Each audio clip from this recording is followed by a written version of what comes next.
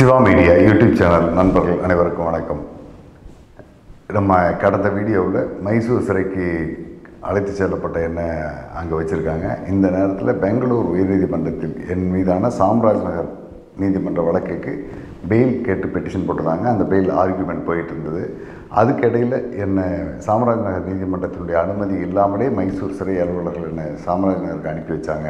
அதை பற்றிய விவாதம் அங்கே சூட்டு பிடிக்க ஆரம்பித்தது சாம்ராஜ் நகர் நீதிமன்ற நடுவர் தேவராஜ் பட் அவர்கள் போட்டிருந்த உத்தரவு ஈரோடு காவல் ஆய்வாளர் பெரியசாமி என்னை பவானி கூட்டு வர்றதுக்காக டேட் அட்வான்ஸ் பண்ணி கொடுங்கன்னு கேட்டதை போட்டு பெட்டிஷன் மைசூர் சிறை நிர்வாகம் என்ன நீங்கள் சிவசுப்ரமணியத்தை கூப்பிட்டு வந்திருக்கோம்.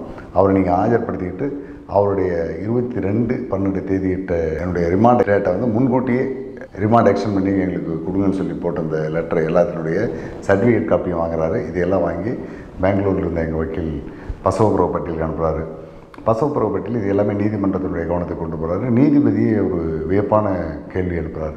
எப்படி ஒரு நீதிமன்றத்தின் உத்தரவு இல்லாமல் அந்த நீதிமன்றத்துக்கு சிறை அதிகாரிகள் சிறையில் இருக்கக்கூடிய சிறைவாசியை அனுப்பி வச்சாங்க? இது எனக்கு சந்தேகமாக இருக்குது. உங்களுடைய வாதத்தை நான் ஏற்றுக்கிறேன் சிவசுப்பிரமணியத்துக்கு சிறைக்குள்ளேயே பாதுகாப்பு இல்லை அப்படின்னு நீங்கள் சொல்கிற அந்த வாதத்தை ஏற்றுக்கிறேன் இதுக்கு விளக்கம் அளிக்கிறதுக்காக மைசூர் சிறை கண்காணிப்பாளர் திரு விஸ்வநாத ஐயாவை அடுத்த தேதிக்கு பெங்களூர் உயர்நீதிமன்றத்துக்கு வர சொல்லி ஒரு உத்தரவு போடுறாரு. இந்த பிரச்சனையெல்லாம் போயிட்டு இருந்த நேரத்திலேயே ஜனவரி அஞ்சாம் தேதி அன்னைக்கு சாம்ராஜ்நகர் நீதிமன்ற வழக்கு எனக்கு காவல் நீட்டிப்பு பண்ணுறதுக்காக கூட்டிகிட்டு போகிற தேதி அன்னைக்கு மைசூர் நகர காவல்துறை சார்பாக என்னை கூட்டி போகிறதுக்காக வந்திருக்காங்க. கடந்த முறை மாதிரி இந்த முறையும் சிறை அலுவலர் யாராவது கூட வருவாங்களா அப்படிங்கிற ஒரு சந்தேகத்தில் நான் சுந்தர்கிட்ட இதை பற்றி கேட்டேன். ஜெயிலில் சுந்தர் வந்து இல்லை இந்த முறை நான் வரல. போன முறை வந்து எனக்கு பெரிய பிரச்சனை ஆகிட்டது அது உங்களுக்கே பின்னால் தெரியும். நீங்களே போயிட்டு வந்துருங்க அப்படின்ட்டு என்னை கொண்டு வந்து வெளியில் அனுப்புனார். அப்போ பார்க்கும்போது மைசூர் ஏஆர் போலீஸார் ஒரு கொடும் குற்றவாளியை கைது செய்து கொண்டு போவதற்கு தேவையான மாதிரியான ரெண்டு கையிலையும் விலங்கு போட்டு கையில் போலீஸார் பிடிச்சிட்டு போகிற மாதிரியான அந்த லீடிங் செயலோட ஒரு ஹேண்ட்கப் கொண்டு வந்துட்டாங்க சாரி சார் நான் வந்து ஒரு பத்திரிகையாளர் நீங்கள் நினைக்கிற மாதிரி ஒரு கொடுங்குற்றவாளியோ அல்லது நீதிமன்றத்துக்கு போகிற வழியில் காவல்துறையை தாக்கிட்டு தப்பிச்சு போகக்கூடிய குற்ற செயல் புரிந்தவன் அல்ல. அதனால் என்ன இந்த மாதிரியான விலங்கு போட்டு கூட்டி போகிறதுக்கு நான் அனுமதிக்க மாட்டேன் அப்படிங்கிற சிறை அதிகாரிகளும் அதில் நாங்கள் தலையிட முடியாட்டாங்க பாதுகாப்புக்காக வந்திருந்த போலீஸார் உடனே அதனுடைய ஆய்வாளர் நிலையில் இருந்த ஒரு அதிகாரியை வர சொன்னாங்க. அவர் வந்து பார்த்துட்டு இவ்வளவு பாதுகாப்பான இதெல்லாம் போட வேணாம். ஒரு ஃபார்மாலிட்டிக்கு நாங்கள் எப்போவுமே நீதிமன்றத்துக்கு கூட்டி போனால் ஒரு விலங்கு போட்டு கூட்டி போகிற முறை அந்த வகையில் உங்களுக்கு ஒரு லெஃப்ட் ஹேண்டில் மட்டும் ஒரு ஹேண்ட் கப் போட்டு கூட்டி போகிறோம் இது வேணாம் அப்படிங்கிறது நீங்கள் நீதிமன்றத்தில் சொல்லுங்கள் அவங்க போட வேணாம்னு சொல்லிவிட்டு நாங்கள் போட மாட்டோம். அப்படின்னாரு. சரி எனக்கு நீதிமன்றத்தினுடைய முழுமையான வழிமுறைகள் தெரியாதனால நான் அவங்களோட இடது கையில் என்னுடைய கையில் விலங்கு போட்டே கூட்டு போனோம். ஆஹ், சாமராஜநகர் நீதிமன்றத்துக்கு போகும்போது அங்கே எனக்காக காத்திருந்த எங்கள் ரிப்போர்ட்டர் ஒரு ஜெயபிரகாஷனை நான் விலங்கோட போன அந்த காட்சியும் ஒரு புகைப்படமாக எடுத்துட்டார். ஏன்னா அதை நீதிமன்றத்தில் காட்டுறதுக்கு ஒரு ஆதாரமாக வேணும் அப்படிங்கிறனால. அங்கேயும் நான் பத்திரிகையாளர்கள் யாரையும் பார்த்து பேச முடியாத மாதிரியான ஒரு சூழல் தான் கூட்டி போனாங்க.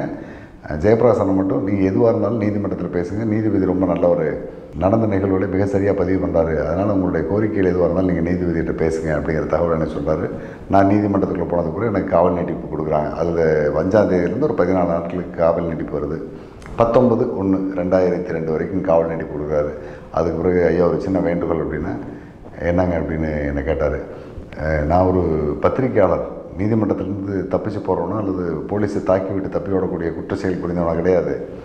அதனால் எனக்கு வந்து வரும்போது பெரிய அளவிலான கைவிலங்கு போட்டு கூப்பிட்டு வராங்க. இது எனக்கு அப்படின்னு நான் பேசிகிட்டு இருக்கும்போதே நீதிபதி கையை காட்டி என்னை நிறுத்த சொன்னார். நான் நிறுத்திட்டேன். உடனே அரசு வழக்கறிஞர் நீங்கள் பத்திரிகையாளர் வரலாம் ஆனால் நீங்கள் இருக்கிறத வந்து ஒரு கிரிமினல் வழக்கில். அதுவும் வீரப்பன் தொடர்புடைய வழக்கு. வீரப்பன் தொடர்புடைய வழக்குனாவே தேசிய அளவில் அது மிக முக்கியமாக கவனிக்கக்கூடிய வழக்கில். இந்த கவனிக்கக்கூடிய வழக்கில் குற்றம் சாட்டப்பட்டிருக்கிறேன் உங்களுக்கு நீதிமன்ற வரும்போது விலங்கு போட்டு தான் கூட்டிகிட்டு வருவாங்க அப்படின்னு எங்கள் சொல்லும்போது அதையும் நிறுத்துங்க அப்படின்ட்டாரு. நிறுத்துங்க சொல்லிட்டு அப்புறம் எனக்கு காவலுக்கு வந்திருந்த இன்ஸ்பெக்டரை கூப்பிட்டு குற்றவாளிகள் யாராக இருந்தாலும் சிறைக்கு வரும்போது ஹேண்ட்கப் போடக்கூடாதுங்கிற ஒரு விதிமுறை இருக்குது அது உங்களுக்கு ஞாபகம் இருக்கா? அப்படின்னாரு. எஸ்ஆர் அப்படின்னாரு. உங்களுக்கு பாதுகாப்புக்கு எவ்வளோ பேர் வேணாலும் கூட்டுங்க. ஆனால் விலங்கு போடக்கூடாதுங்கிறது இருக்குது விதிவிலக்கா சில வழக்குகளில் உள்ள குற்றவாளிகளுக்கு நீங்கள் போடலாம். இவருக்கு நீங்கள் போட வேண்டிய அவசியம் இல்லை அப்படின்ட்டாரு. இனிமேல் போட மாட்டோம் அப்படின்ட்டார். இந்த நிலையிலேயே என்னை ரிமாண்ட் ஆக்ஷன் பண்ணி அனுப்பிடுறாரு. மைசூர் சிறையில் இருந்துகிட்டு இருந்த அடுத்த ஒரு நாலஞ்சு நாட்களுக்கு பிறகு என்னுடைய உறவினர்கள் நண்பர்கள்லாம் வந்து போகிறாங்க பதினொன்றாம் தேதி அன்னைக்கு ஜனவரி பதினொன்றாம் தேதி அன்னைக்கு வெள்ளித்தப்பூர் காவல் நிலையத்தில் ரிமாண்ட் ஆக்ஷன் பண்ணுறதுக்காக என்னை பவானி நீதிமன்றத்தை கூட்டு வர்றதுக்கு தமிழ்நாடு போலீஸார் வந்திருந்தாங்க. கொடுமுடி காவல்நிலை ஆய்வாளர் செங்கோட்டையன் அப்படிங்கிற தலைமையில் ஒரு ரெண்டு பேர் நிறைய போலீஸ் வந்திருந்தாங்க. மைசூர்லேருந்து என்னை வெளியில் கூப்பிட்டு வராங்க. வரும்போது கர்நாடக காடுகளுக்குள் கர்நாடக அதிரடிப்படையும் தமிழக காடுகளுக்குள் தமிழக அதிரடிப்படையும் எனக்கு பாதுகாப்போடு வர்றாங்க. அன்னைக்கு மதியம் ஒரு மூணு மணியிலேருந்து பங்களாபுதூர் காவல் நிலையத்துக்கு வந்து அங்கே தான் எங்களுக்கு மதிய சாப்பாடு ஏற்பட வேண்டியிருக்காங்க பங்களாபுதூர் காவல் நிலைய ஆய்வாளராக இருந்தவர் லக்ஷ்மணசாமி. இவர் தான் ராஜ்குமார் கடத்தல் வழக்கினுடைய விசாரணை அலுவலராகவும் இருந்தார். அவர் அங்கே இருந்தார். என்னை பார்த்து "சார், அங்கே மைசூரில் நடந்த விவகாரங்கள் வழக்கு விவகாரங்கள் எப்படி போயிருக்கு என்னங்கிறத கேட்டு சிவசுப்ரமணியம் உங்கள் மேலே மற்ற வழக்குகள்லேருந்து நீங்கள் எளிமையாக தப்பிச்சிடலாம். பட் ராஜ்குமார் கடத்தல் வழக்குலேருந்து தப்பிக்க முடியாது. அது எல்லாத்துக்குமே சாட்சிகள் இருக்குது அந்த வழக்கு நான் தான் இன்வெஸ்டிகேஷன் பண்ணிகிட்ருக்கேன் கண்டிப்பாக உங்களுக்கு அதில் பெரிய சிக்கல் வரும். இப்போ ஆண்டிப்பட்டி தொகுதியில் இடைத்தேர்தல் நடந்துகிட்ருக்குது இருக்குது இப்போ முதலமைச்சராக இருக்கிற பன்னீர்செல்வம் அப்போ வந்து பன்னீர்செல்வம் தான் என் முதலமைச்சராக இருந்தார். ஜெயலலிதா பின்னால் இருந்து அவரை இயக்கிக்கிட்டு இருந்தாங்க. அதை பற்றி பேசுகிறார் ஆண்டிப்பட்டி தேர்தலில் ஜெயலலிதா வெற்றி பெற்றாரானால் உங்களுடைய வழக்குகள் எல்லாமே மாறும். உங்களுடைய வழக்கு முடிகிறதுக்கான காரணமும் ரொம்ப தூரம் போகும். உங்கள் மேலே இன்னும் நிறைய கேஸ் வர்றதுக்கு வாய்ப்பு இருக்குது இருந்தாலும் பார்ப்போம் அப்படின்ட்டு என்கிட்ட பேசி அனுப்புகிறாரு நான் ஒரு அஞ்சு மணிக்கு பவானி நீதிமன்றத்துக்கு வர்றேன். இந்த முறை ஏற்கனவே இந்த மாதிரி அதிகப்படியான பத்திரிகையாளர்கள் இல்லை. இருந்தாலும் ஒரு ஆறு ஏழு பேர் இருக்காங்க. அவங்ககிட்ட எல்லாம் பேசி முடிச்சுட்டு நீதிபதி என்னுடைய காவல் நீட்டிப்பு கொடுக்குறாரு. காவல் நீட்டி கொடுத்து மைசூர் சிறைக்கு அனுப்புறதை விட்டு அவர் என்னை கோவை சிறைக்கு அனுப்புனார் கடந்த முறை நானே மைசூர் சிறையிலனால இருக்க முடியல. என்னை கோவை அல்லது சேலம் சிறையில் வைங்கன்னு நான் சொல்லி கேட்கும்போது முடியாது நான் மைசூருக்கு தான் அனுப்புவேன்னு சொன்ன நீதிபதி கிருஷ்ணன் அவர்கள் இந்த முறை நான் கேட்காமலே என்னை கோவை சிறையில் அடுத்த பதினஞ்சு நாட்களுக்கு ஒரு வைக்கணும்னு சொல்லி உத்தரவு போட்டார்.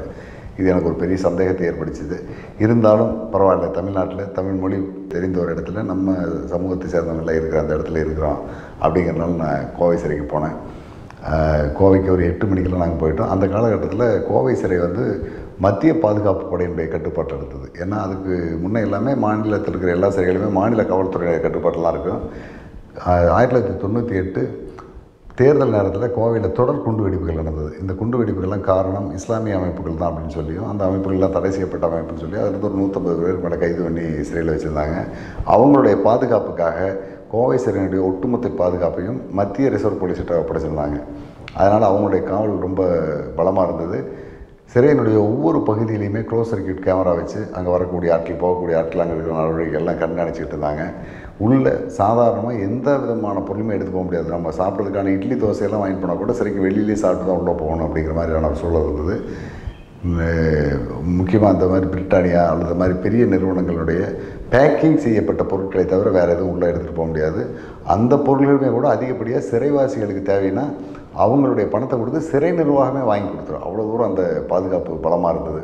இந்த பாதுகாப்பு இருந்த அந்த சூழலில் சிறையினுடைய மெயின் கேட் அப்படிங்கிற அந்த அலுவலகத்துக்கு பக்கத்தில் இருக்கிற கேட்டுக்கு பக்கத்தில் என்னை கொண்டு போலீஸ் வேனில் நிற்க வச்சுட்டு ஒரு காவலர் பாஸ்போர்ட் நம்ம நீதிமன்றத்தில் என்னை ரிமாண்ட் பண்ண சொல்லி போட்டிருக்கிற அந்த உத்தரவை எடுத்துகிட்டு சிறை வாயிலுக்கு போனார். இன்ஸ்பெக்டர் நான் உட்காந்து பேசிகிட்டு இருந்தேன் அப்போ வந்து நீதிமன்றத்துக்கு போயிட்டு நிறைய சிறைவாசிகள் ஒரு பத்து பதினஞ்சு பேருக்கு மேலே வரிசையாக வந்துக்கிட்டு இருந்தாங்க. அவங்கள எல்லாமே காவலர்கள் சிறை காவலர்கள் வந்து சர்ச் பண்ணி உள்ளே அனுப்பிட்டு இருந்தாங்க. அவங்களுடைய சட்டை போய் பேண்ட்டெல்லாம். இது வந்து மைசூரில் நான் ஏற்கனவே பார்த்தலாம் மேலோட்டமாக சட்டை பேண்ட்லாம் பார்ப்பாங்க. அவங்க கொண்டு அந்த பையெல்லாம் வாங்கி செக் பண்ணுவாங்க. உள்ளே கொடுத்துருவாங்க. பெரிய அளவில் சிக்கல் இருக்காது. ஆனால் இங்கே வந்து ரொம்ப வித்தியாசமாக இருந்தது. என்ன பார்த்தீங்கன்னா போட்டிருந்த சட்டை பனியன் ஜட்டி தவிர மீதி எல்லாத்தையும் கழட்ட சொல்லி எல்லாத்தையும் கழட்டி உதறி அதுக்கப்புறம் வேற ஒரு ஆளுக்கு அனுப்புகிறாங்க அவர் தன்னுடைய கொண்டு போயிருந்த அந்த பையில் இருந்த உடைமைகள் பேக்கு பை எல்லாத்தையும் திறந்து கீழே கொட்டுறாங்க. கீழே கொட்டி அதை கையிலையும் கால்லையும் தள்ளி விட்டு துணிகளை எல்லாம் உதறி உதறி தூக்கி போடுறாங்க. அதை வந்து அந்த சிறைவாசி திரும்பவும் சுருட்டி கையில் எடுத்து பையில் போட்டு பிடிச்சிட்டு போகக்கூடிய ஒரு சூழல் இருந்தது. இது மனிதாபிமானமே இல்லாத நடந்துக்கிட்டு இருந்த ஒரு சோதனை முறையாக தெரிஞ்சுது. சிலரை வந்து அது அவங்கெல்லாம் வந்து இந்த கஞ்சா கடத்துவாங்க அப்படிங்கிற சந்தேகத்தில் இருக்கிற சில ஆட்களை எல்லாமே அவங்க ஆசன வாய் மூலமாக கஞ்சாவை உள்ளே பதுக்கி வச்சுருப்பாங்க அப்படிங்கிற ஒரு சந்தேகம் இருக்குது அந்த மாதிரி நிறைய பேரை கைதும் பண்ணியிருக்காங்க. கஞ்சா சிறைக்குள்ளே கஞ்சா கொண்டு போனார்ல.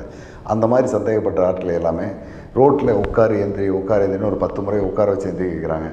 அதுக்கு பிறகு அவங்களால அந்த கஞ்சாவே ஆசன வாய் வழியாக உள்ளே வச்சுருந்தாங்கன்னா அது வெளியில் வந்துடும் அப்படிங்கிறனால இந்த மாதிரி சோதனை எல்லாமே ஒவ்வொரு சிறையும் நடத்திக்கிட்டு இருந்தாங்க.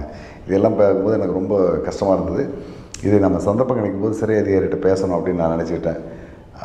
இதுவே நிலைமை தான் அடுத்து எனக்கு வருமோ அப்படிங்கிற ஒரு சந்தேகம் எனக்கு இருந்தது. ஏன்னா என்கிட்டையும் கையில் பையெல்லாம் இருந்துச்சு. நூல்கள் தான் வேறு எதுவும் இல்லை.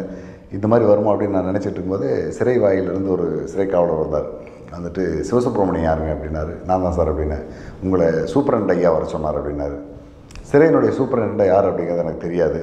சரி இருந்தாலும் யாரோ நமக்கு தெரிஞ்சவங்க தான் போல இருக்குது அப்படின்னு போனேன் அல்லது ஈரோடு மாவட்ட காவல்துறை அவங்களுக்கு தகவல் கொடுத்துருப்பாங்க. அந்த தகவல் அடிப்படையில் என்ன வர சொல்கிறாங்களோ அப்படிங்கிற ஒரு சந்தேகத்திலேயே நான் போனேன். அந்த காவலர் வந்து சிறையினுடைய அந்த மெயின் கேட் வரைக்கும் கூட்டி போனார். உள்ளே இருந்த ஒரு உதவி சிறை அலுவலர்கிட்ட சார் மேலே ஐயாட்ட கூட்டிட்டு போங்க அப்படின்னு சொல்லி என்னை அங்கே ஒப்படைச்சிட்டாரு. நான் கொண்டு போயிருந்த பையை அவரே வாங்கி வெளியே வச்சிட்டார். சார் இதெல்லாம் வழக்கமான சோதனைகள் பிடிச்சதுக்கு பிறகு காலையில் உங்களுடைய நீங்கள் இருக்கிற இடத்துக்கு இந்த பை வந்துடும் நீங்கள் மேலே போகலாங்க அப்படின்னாரு. அந்த உதவி சிறை அலுவலரோடு நான் சிறை அலுவலகத்துடைய மேல் மாடிக்கு போகிறேன் மேல் மாடியில் சூப்பரண்ட் தாஸ் இருந்தார். அவர் ஏற்கனவே திருச்சி சிறையினுடைய கண்காணிப்பாளராக இருந்தவர். எனக்கு அறிமுகமானவர். அதுக்கப்புறம் வணக்கம் சொன்னேன். அவர் கைகுலுக்கி வரவேற்றார். வரவேற்று நம்ம ரெண்டு பேரும் சந்திக்கக்கூடாத சூழலில் சந்திக்கக்கூடாத இடத்தில் நம்ம இருக்கிறோம். அதுக்காக நான் வருத்தப்படுறேன். மைசூர் சிறையில் நீங்கள் எப்படி இருந்தீங்கன்னு எனக்கு தெரியாது. ஆனால் இங்கே உங்களுக்கு தேவையான எல்லா விதமான பாதுகாப்பு ஏற்பாடுகளையும் நாங்கள் செஞ்சு கொடுக்க தயாராக இருக்கோம் அப்படின்னு கூட இருந்த தன்னுடைய சக அதிகாரிகளை அதை அறிமுகப்படுத்தினார். ஒருத்தர் வந்து அடிஷனல் சூப்பரண்ட் குப்புசாமி இன்னொருத்தர் சிறை அலுவலர் சுப்பிரமணியம் இன்னொருத்தர் உதவி சிறை அலுவலர் சேகர். இந்த சேகர் ஏற்கனவே திருச்சி சிறையில் இருந்தவர். அவரும் எனக்கு ஓரளவுக்கு அறிமுகமானவர். இவங்களே பார்த்துட்டு நீங்கள் மைசூர் சிறையில் எப்படி இருந்தீங்கன்னு தெரியாது. இங்கே உங்களுக்கு உணவு மற்றபடி படிக்கிறதுக்கான நூல்கள் காலை மாலை டீ இது எல்லாமே வந்து சேர்ந்துடும் நல்ல டியூப்லைட் வெளிச்சம் இருக்கக்கூடிய ஒரு பகுதியில் தான் உங்களுக்கு நாங்கள் ஒரு அறையை தேர்வு பண்ணியிருக்கோம். சிறைக்குள்ளே வந்து பன்னெண்டு தொகுதிகள் இருக்குது அது இல்லாமல் மருத்துவமனையில் ஒரு தொகுதி பதிமூணு தொகுதி இருக்குது. இந்த பதிமூணு தொகுதி எதுலேயுமே பார்த்தீங்கன்னா கூட்டம் அதிகமாக இருக்கும். ஒவ்வொரு தொகுதியிலையும் நூறு பேர் நூற்றம்பது பேர் தங்கியிருப்பாங்க. அங்கே உங்களுக்கு வந்து ஒரு கசகசப்பாக இருக்கும். ரொம்ப பாதுகாப்பான இடமா? வஉசி அப்படிங்கிற ஒரு தொகுதி இருக்குது அந்த தொகுதிக்கு உங்களை அனுப்புகிறோம் சுதந்திர போராட்ட காலத்தில் வஉ சிதம்பரனார் இந்த இடத்துலாம் சிறை வச்சுருந்தாங்க. ரொம்ப பாதுகாப்பான இடம். அங்கே ஏற்கனவே ரெண்டு பேர் இருக்காங்க. ஒருத்தர் பேர் கோவிந்தசாமி. அவர் வந்து ஒரு தூக்கு தண்டனை விதிக்கப்பட்டு எந்த நேரத்தில் தூக்கு தண்டனை நிறைவேற்றுவாங்களோ அப்படிங்கிற உத்தரவை எதிர்பார்த்து காத்துக்கிட்டு இருக்கிறவர். கொஞ்சம் மன அழுத்தத்தில் இருப்பார். யார்கிட்டையும் அதிகம் பேச மாட்டார். நீங்கள் பேசலாம். சாதாரணமாக பேசலாம். கேள்வி எல்லாம் கொஞ்சம் குதர்க்கமாக கேட்பார். அது மட்டும் கொஞ்சம் கவனமாக பார்த்து நடந்துங்க இன்னொருத்தர் வந்து பெங்களூரை சேர்ந்தவர். அல்லுமா வழக்கில் அதாவது முஸ்லீம் தீவிரவாதிகள் சொல்லக்கூடிய அந்த சிறை வச்சிருக்கிற சிறைவாசிகள் இருக்காங்க இல்லையா? அவங்களுடைய வழக்கில் இவர் அப்ரூவர் இந்த குண்டு வெடிப்பு வழக்கு எல்லாத்துக்குமே இவர் தான் வெடிமருந்து கொடுத்ததாக சொல்லி சந்தேகத்தின் அடிப்படையில் பிடிச்சு கைது செய்யப்பட்டு அவர் மேலே குற்றச்சாட்டை பதிவு பண்ணி அவரே அப்ரூவர் ஆயிருக்கார். நான் தான் வெடிமருந்து கொடுத்தேன்னு சொல்லி. அதனால் அவர் வந்து பாதுகாப்பான பகுதியில் வச்சுருக்காங்க. இந்த ரெண்டு பேருமே அரசாங்கத்தினுடைய சொத்து.